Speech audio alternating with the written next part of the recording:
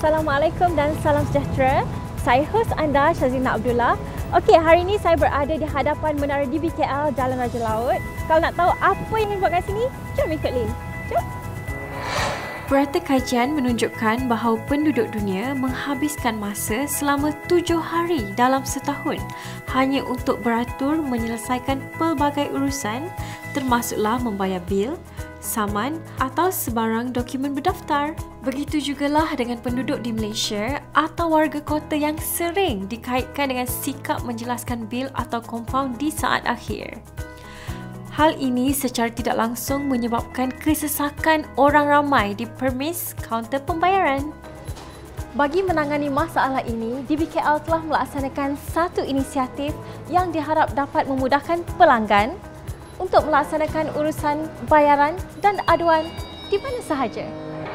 Memperkenalkan kempen perkhidmatan dalam talian oleh DBKL iaitu hashtag DBKL Connected. Dalam kempen ini, DBKL memperkenalkan beberapa aplikasi mudah alih bagi tujuan pembayaran saman dan aduan. Mudah kan? Aplikasi ini bukan sahaja menjimatkan masa anda, malah anda tidak perlu beratur di kaunter. Segalanya di hujung jari anda.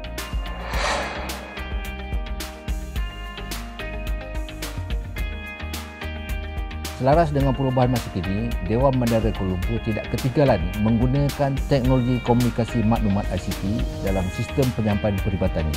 Malah ia bertepatan dengan pelaksanaan program Pelan Induk Masyarakat Induk Rendah Karbon Kuala Lumpur 2030 yang menggalakkan penggunaan ICT. Kemajuan ini dapat memudahkan pelanggan di BKL untuk berurusan dengan cepat, tepat dan mudah. Secara keseluruhan, semua aplikasi ini dapat menjimatkan masa dan kos pengguna. Itulah dia sedikit sebanyak daripada yang berbahagia Tan Sri Haji Muhammad Amin Nordin bin Abdul Aziz, Datuk Bandar Kuala Lumpur mengenai aplikasi DBKL Mobis dan KL Cares. Anda boleh memuat turun aplikasi tersebut di Google Play Store dan App Store. Okey, sekarang ni Lin akan tunjukkan bagaimana cara-cara untuk menggunakan aplikasi tersebut. Bagi pengguna pertama, anda dikehendaki untuk mendaftar dahulu. Masukkan nama, pilih jenis kad pengenalan, email dan nombor telefon, klik butang seterusnya. Pastikan anda masukkan kad pengenalan, kata laluan dan log masuk. Selepas mendaftar, anda akan diberikan status notis compound. Anda juga boleh pilih mana-mana menu berkaitan. Untuk aplikasi KL Cares pula, daftar bagi pengguna pertama, masukkan nombor telefon, email, nombor kad pengenalan, kata kunci dan sahkan kata kunci anda. Sentuh menu aduan untuk membuat aduan, pilih jenis aduan, masukkan deskripsi aduan, lokasi aduan dan masukkan gambar aduan, tekan menu seterusnya, lokasi anda akan dikesan melalui GPS dan sahkan. Dah buat aduan, lama lagi ke nak kena tunggu? Sabar, pihak di BKL akan mengambil tindakan susulan. Mudah kan?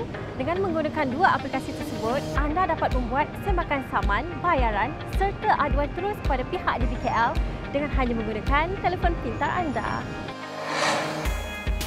Untuk kempen perkhidmatan dalam talian hashtag DBKL Connected, kami juga mempunyai program laman sesawang yang diberi nama Hari Bertemu Pelanggan atau EHPP DBKL. Jika dulu orang ramai yang ingin membuat aduan perlu hadir sendiri ke DBKL dan menghadapi pelbagai kekangan seperti kesuntukan masa, kos, tenaga dan kesesakan lalu lintas.